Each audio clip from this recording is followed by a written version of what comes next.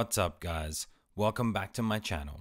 Today, I bring to you my new series, My Hot Toys Iron Man Collection, Volume 1. Those that know me know. Iron Man is one of my favorite characters of all time, and Robert Downey Jr.'s performance, for me, it's the greatest. To me, he will always be Iron Man, and so, with this new series, I will focus on my Iron Man collection. This being Volume 1, actually came about as I just received my Battle Damaged 85, which I immediately put into the iconic snap pose live in my unboxing with my guys, KG the Collector and Loco Lou. Shout out to you guys, you're both legends. Now, I thought I would do a showcase eventually posing this guy up showing what he could do. However, as time went on, I couldn't bring myself to take him out of that snap pose. So, for that reason, this showcase is dedicated to displaying the iconic snap pose with other figures in the collection to give you guys an idea of the scenes I intend to create in my display once fully set up. Now, just a reminder that in my showcases, I use multiple figures and or accessories to help tell the story for each scene. And it's my intention not only to create something to admire, but to help give display options to you guys, my fellow collectors, on how you can enjoy and get the most out of your collection too. So don't forget, if you like my content, hit that like button, hit the notification bell, and subscribe to the channel. It helps me grow and continue to make this type of content, not to mention I really, really appreciate all the support, guys. Just for doing so, you go in the draw to win yourself a really cool prize we have going on the channel at the moment, which I'll touch on at the end of the video. But now, with that, you know what we do. Scene number one Iron Man versus Thanos to kick it off. In the moment where Thanos realized he didn't have the stones, and then Tony reminds him who the real king is, right before the snap. I had to do it, guys. I've been waiting a long time to put these two together to recreate this moment, and it's finally here. One of my favorite moments in movie cinema, more than 10 years in the making, finally on the turntable. I think they look great together, and I think this is a strong contender for a long term shelf display option if you have both of these guys in your collection. I imagine displaying this in a Modu case or a wide type of setup where you could have the Avengers behind Tony and the Black Order behind Thanos. That, I think, would be a great moment to recreate. But for now, I'm happy to have these two together like this. What do you guys think? How many of you will be displaying these guys like this in your collection? Let me know in the comments down below.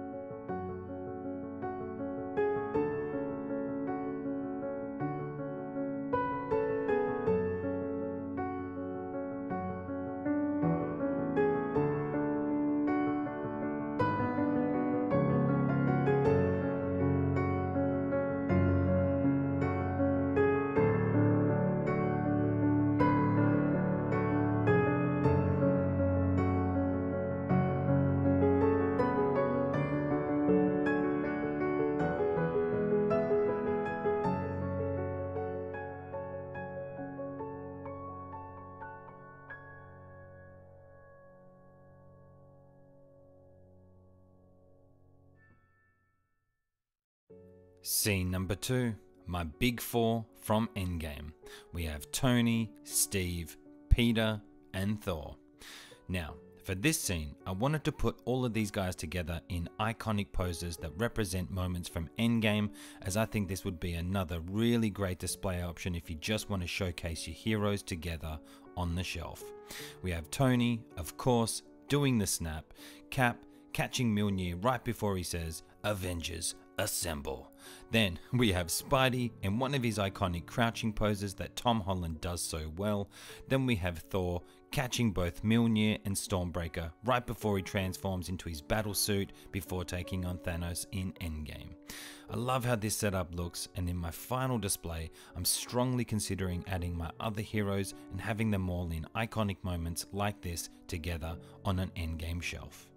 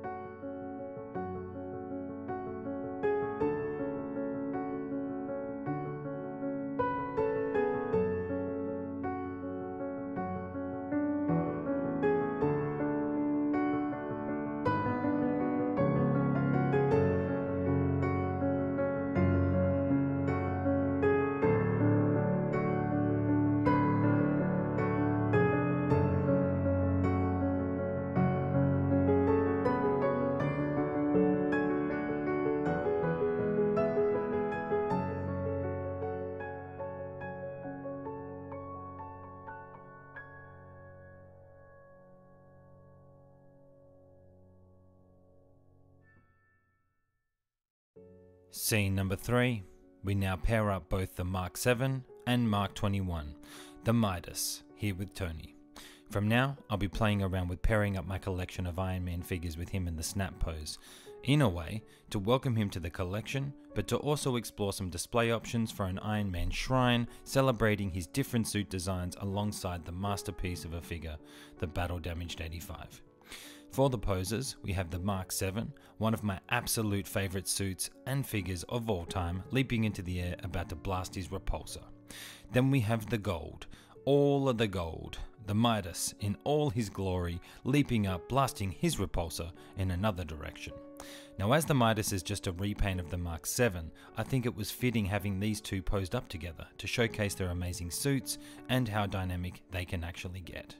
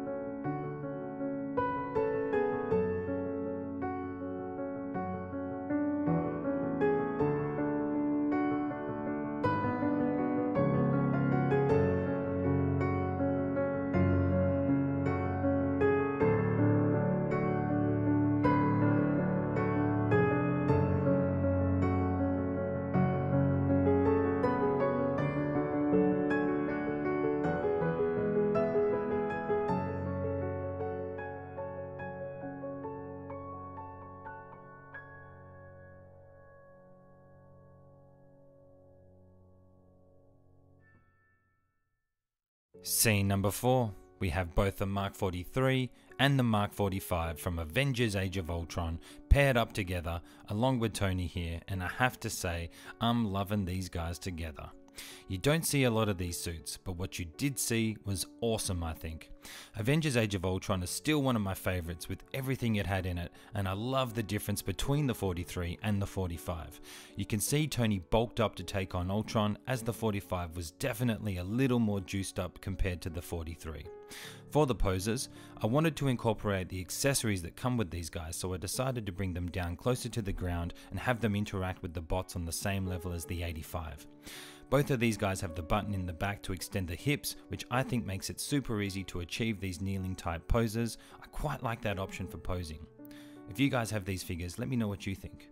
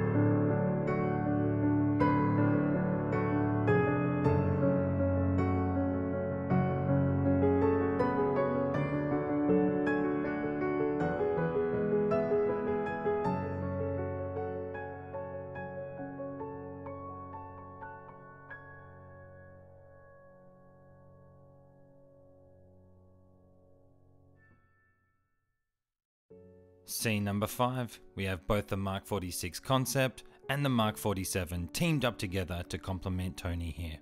I tell ya, I need that Mark 46 to complete my trio. I must acquire him, somehow.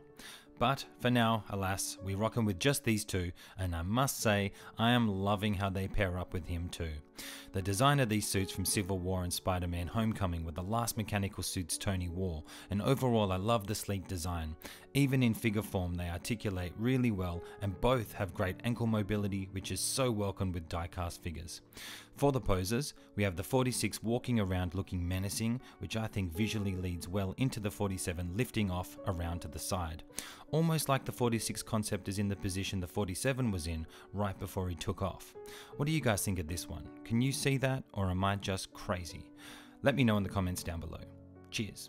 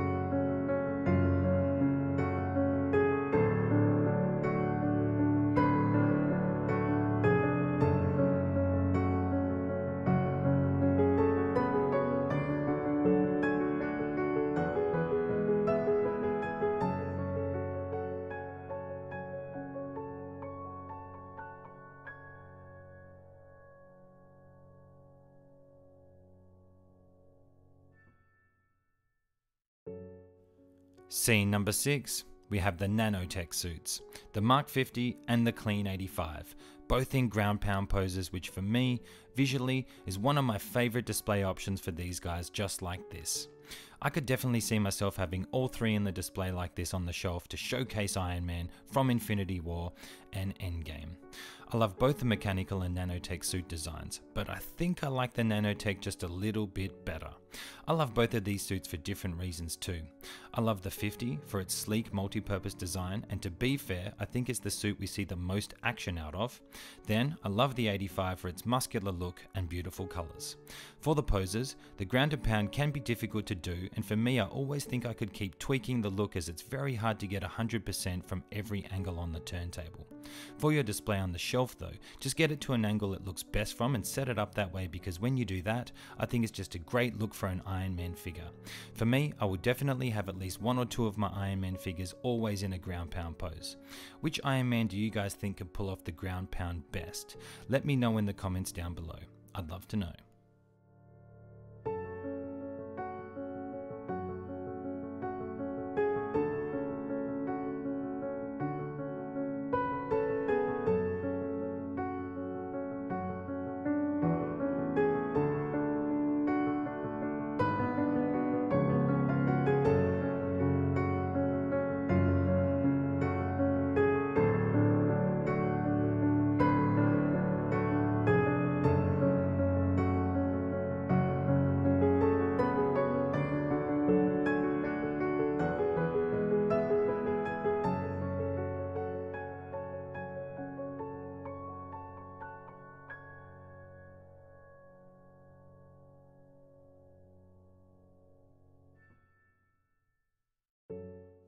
Scene number 7, we have the 50 and 85 again, but this time posed up a bit different using some of the accessories they come with along with the 50s accessory pack that I also have.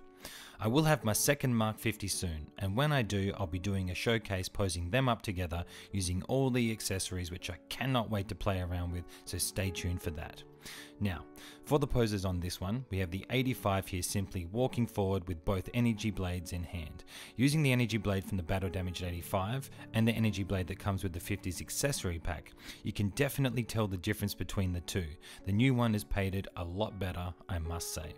Then for the 50, we have him with both ramming arms and one of the leg clamps he used to fight Thanos with.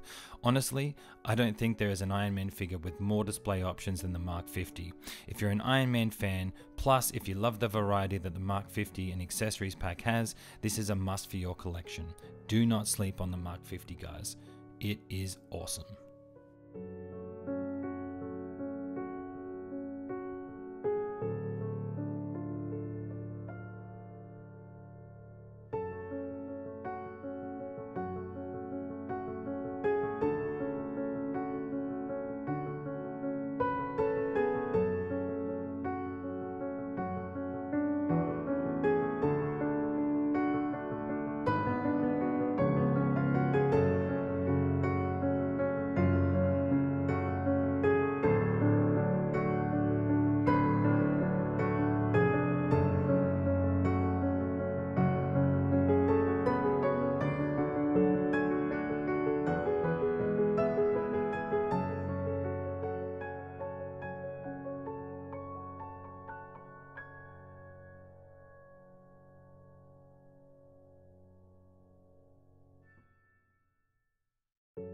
Scene number 8 Surprise! I have two clean 85s. And yes, I know I'm crazy, but this display here is something I could definitely see myself leaving them all in on the shelf.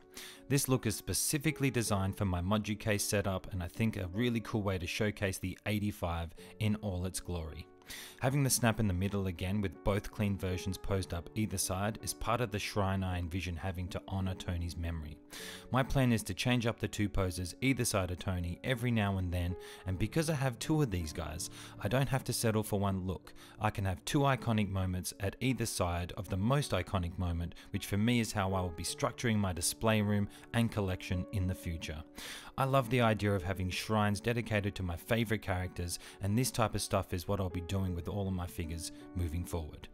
Now, for the poses on this one, and I wanted to have both of them in the air, looking off in opposite directions, which for me visually makes sense with this look, seeing it from front on here. I see endless display options with this setup too, and I can't wait to see what else I can come up with in the future with these guys.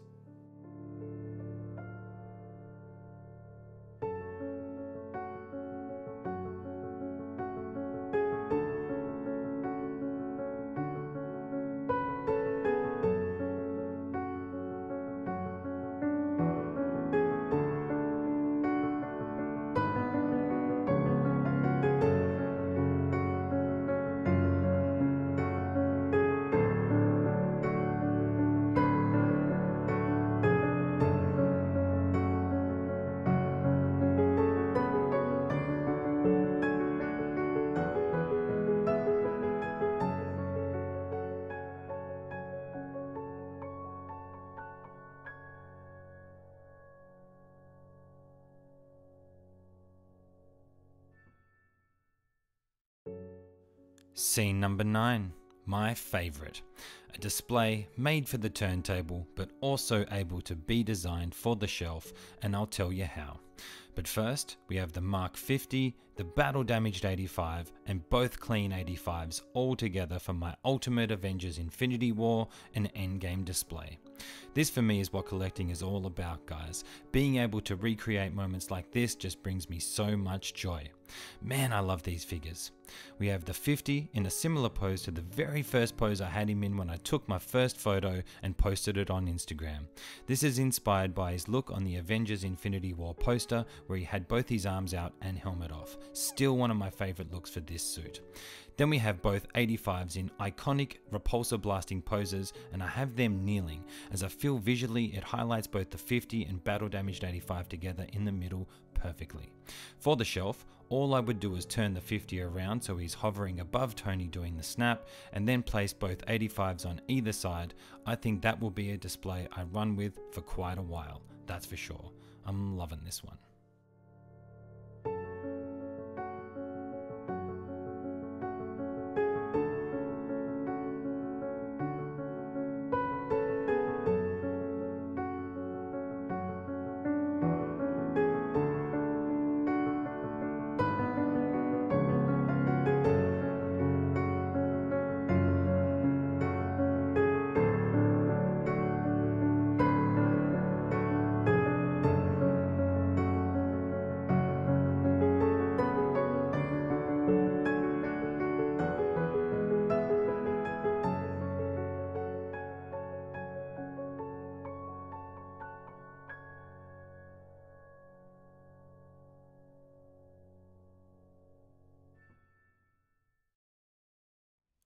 Scene number 10, the outro.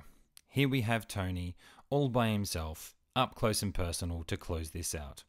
Honestly, guys, this is my favourite figure in my collection. Not just for the look, but also for the moment you can recreate with it. Now, I'm sure someone will correct me, but right now, I don't know any other figures that could capture such an iconic moment like this one here. It truly is Hot Toys at their finest. But now, we've reached the end for today. I thank you all for tuning in, and if you haven't already done so, do us a favor, hit that like button, hit the notification bell, and subscribe to the channel. We currently have a giveaway working in conjunction with Unreal Toys on Instagram, where we're teaming up to give away two custom capes to a lucky winner once my channel reaches 2.5k subscribers. So if you have figures with capes and you wish you could articulate them but you can't, hit that subscribe button and you could win yourself some for your figures. We're nearly there. While you're at it, hop on Insta and give Unreal Toys a follow so you can see all the awesome work he's doing, not just on capes, but many other ventures within the 1-6 community. The contest is worldwide, so anyone can be a winner. This is a thank you from me to you for supporting the channel. I really, really appreciate it. Lastly, we got reviews and unboxings, story styled posing showcases, live streams including my shows Posed Up, where I interview fellow collectors and content creators whilst posing up figures, plus the rundown that I co host with my guy Anthony from the Figure Posing channel, where we deep dive into film and TV. Come check us out live for that one and join the conversation with our awesome chat. For now, though, until next time, live life, have fun, and keep posing. I'm out.